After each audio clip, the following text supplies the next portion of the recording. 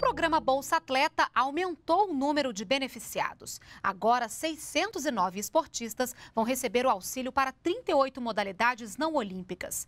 O investimento será de mais de 11 milhões de reais e representa 41% a mais na comparação com o ano passado. Em março deste ano, o Bolsa Atleta já havia contemplado mais de 4 mil atletas de 53 modalidades dos Jogos Olímpicos e Paralímpicos. A edição deste ano também marcou um novo momento do programa, que passou a apoiar atletas consagrados no cenário esportivo, independentemente de já receberem patrocínio.